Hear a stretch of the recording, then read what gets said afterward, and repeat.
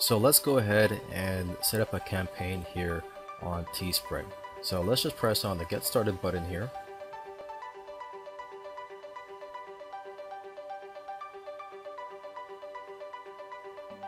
Alright, so here is your template that you're working with and you could select the style and the quality. So if you want a long sleeve, uh, if you want a hoodie, uh, but for now let's just do a basic tee. That's uh, the most popular right now. And here you would just add the text and if you look here you could also add or upload art. So just click on that and you could um, browse their art library and choose a section, for example, food and drink.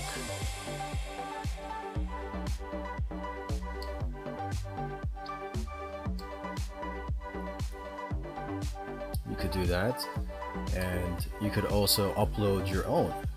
And so this is great if you know how to use Photoshop, and how, how actually I highly recommend you use uh, Photoshop to make yours more unique um, I believe Photoshop has a deal right now where you only pay $10 a month. Uh, but anyways, let's just uh, add some text here. It says here, enter text below.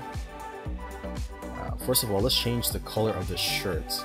Uh, the most popular shirts I've seen right now are, are black. Black shirts uh, usually sell uh, pretty well. And down here, you can see the base cost.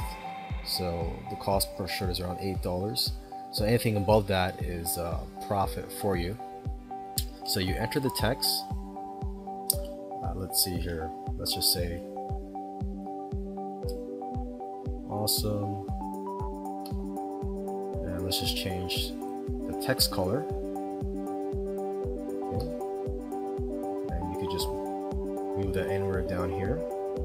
And as for the art here, we could change that, change the color of that to white since this is a black shirt.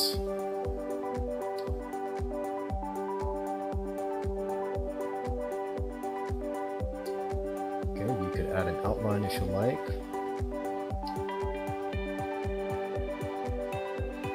Alright, and if if you're happy with this, you would just go to next step.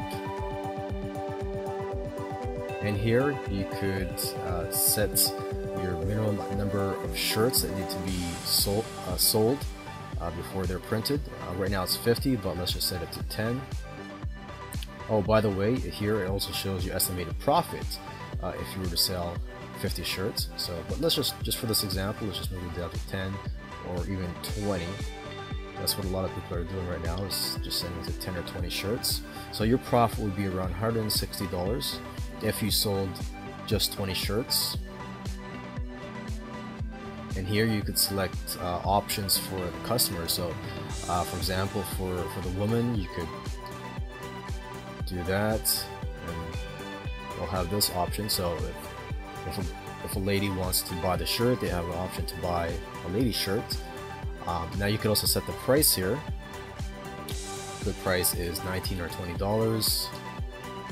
So you have a profit say 10 let's just get that there next step.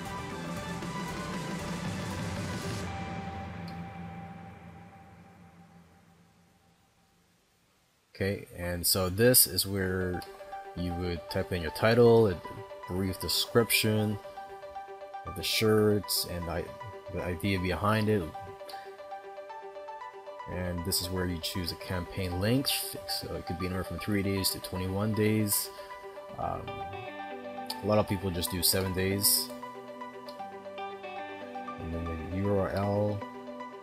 Okay, so this is where people will go to uh, to view this campaign. So we can just, for this example, just type in awesome test.